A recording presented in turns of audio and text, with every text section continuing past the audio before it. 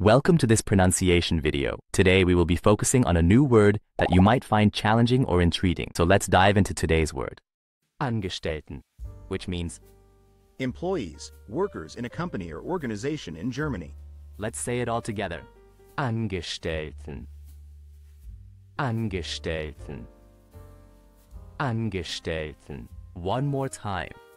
Angestellten. Angestellten. Angestellten.